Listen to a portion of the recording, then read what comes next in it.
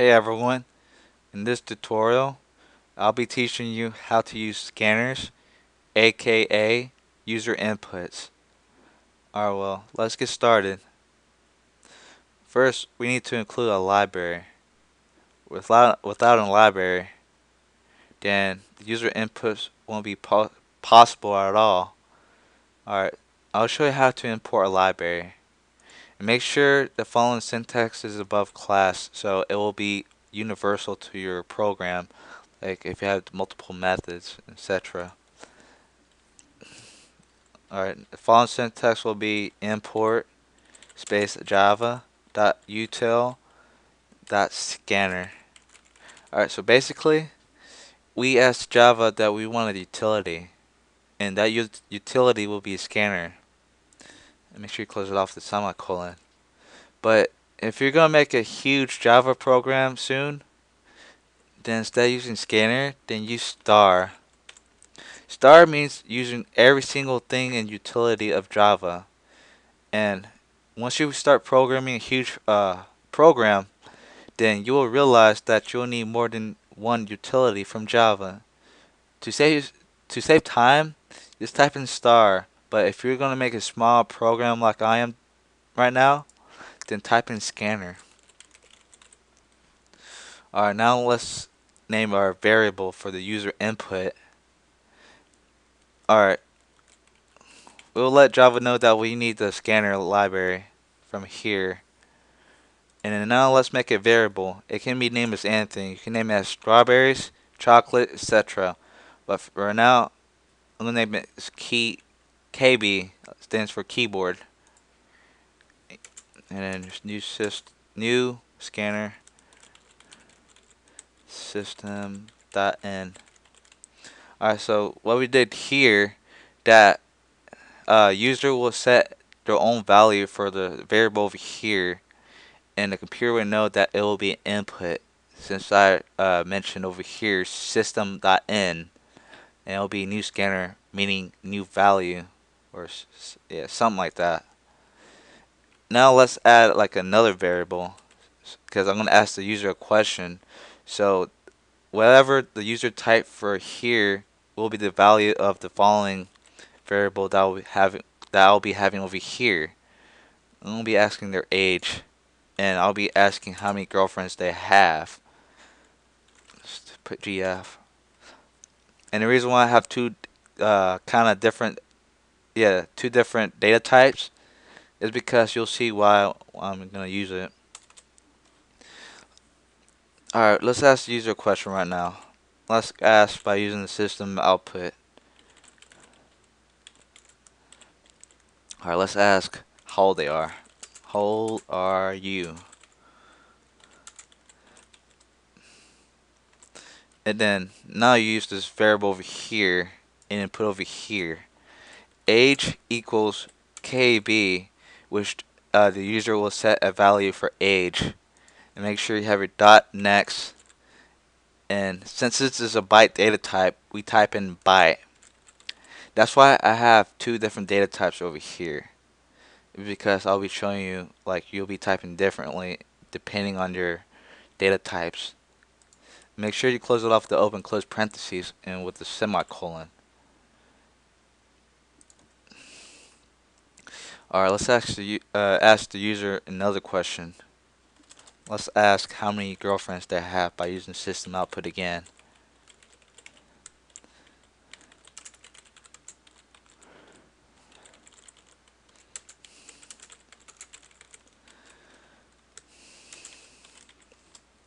Alright, you do the same thing for here and you put GF over here. GF equals keyboard. Like this will, uh, the user will set their own value for this variable. Then next, this time it will be int. Alright. So now let's let the user know that we got their inputs correctly by the following syntax over here we'll do we'll be using system print line and make sure you have your system dot out dot print line you are let's do age. Age Oh yeah, make sure you have your addition sign so you can combine your sentence and quotations and with the variable. So it'll look like it's part of your sentence over here. And, you, and you'll see in our output or once we run this program your age years old. You have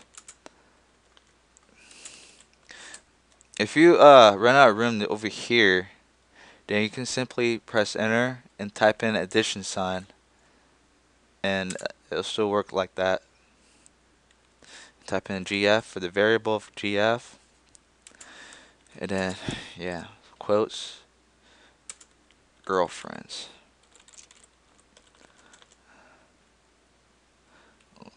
Girlfriends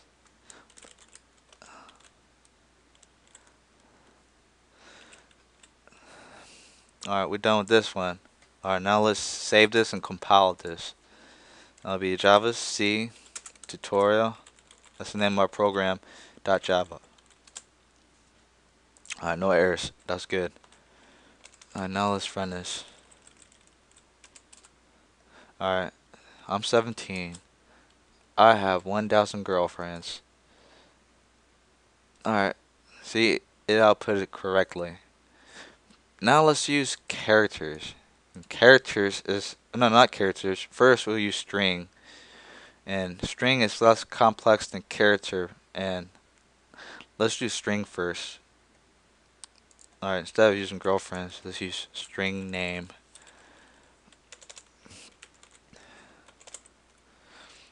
And for string, you need an extra scanner variable. Because without second one for string, then I will ask you a first question for this right here, but then once you answer that and you have a string question next, then it will automatically skip that and it will output and with your blank output for the second question. And that will look strange so let's add another uh, scanner variable for a string. Equals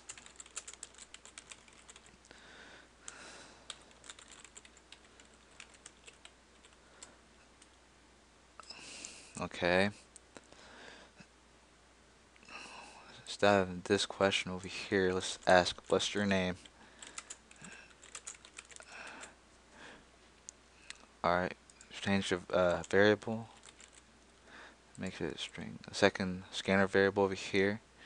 Instead of next string, there's no such thing as next string. Instead, it'll be next line. Because yeah, there's no such thing as next string. Alright, yours name is is name. Okay. Alright, so let's output now since we're done with this part right here. And let me take that P off. Alright, now let's save that and compile it. Okay, no errors. Okay, I'm 17. My name is John. It works perfectly fine. Let me delete this uh, syntax over here so you can see what I'm talking about. Save that. Now let's compile that. Got an error there. Um, why do I have... Oh yeah.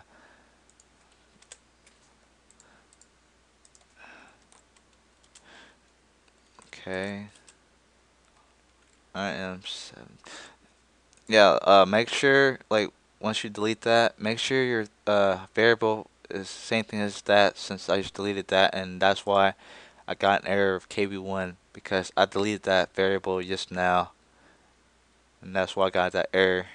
Just to let your people know. And you see, it skipped the second question and we'll have a blank input for the second answer. So yes, always include a second scanner for a string if you have another scanner for byte etc. KB1 equals use scanner system dot in Okay. Make sure that's one. Alright, now we want a character. If you only want uh one letter from your name or something like that, then I'll show you how. Since there is no such thing as next char, we have to use string still, like the next line. We have to use string still. In order to get the first character of your name or something that you only want a character, like one character from your answers, I'll show you how for your following syntax. Alright, you name a new variable, char, and you name it anything that you want, but right now I'll name it C, so I can save time of thinking of names. Alright, so now we type in the string, like the variable string into here, and then dot char at at zero, and then semicolon. Computer reads numbers weird. Us humans count numbers differently from computers. Alright, let's say I type in John again. Zero will be the letter J, and basically zero is like one, and then O is one, but we count it as two. So that's how computer counts. And zero is basically the first one of your answer or input or whatever you did. If you only want the character of your string or yeah, or your character from your scanner, yeah. Alright, so make sure you change here because you only want the character now, not the name. Because the name string will still work, but you only want the character. So just type in C or whatever you name as your variable for this right here. Now let's save that and let's compile it. Okay, I got name. Uh, okay, I got an error there for some reason. Um, char c name dot char at. Alright, let me pause this video real quick so I can see and rectify mistakes and tell you how. Uh, yeah, I found an error. I had this on cap like this and I got an error. So, just use lowercase c and remember Java has case, uh, case sensitive uh, syntax so watch out or else you get an error like I did. Alright, save that. Alright, compile that. I no errors. And you see? Yeah, Java is case, uh, case sensitive. So watch out. Yeah, I'm 17. And my name is John. And it should output only my letter, the first letter of my name. Since this is 0, 1, 2, 3. But us humans count like this. 1, 2, 3, 4. And that's not right. The correct way is 0, 1, 2, 3. Alright, enter. And as you can see, it only output the first letter of my name. Alright, well, this concludes my tutorial over scanner. And thanks for watching and stay tuned for my next tutorial. And subscribe.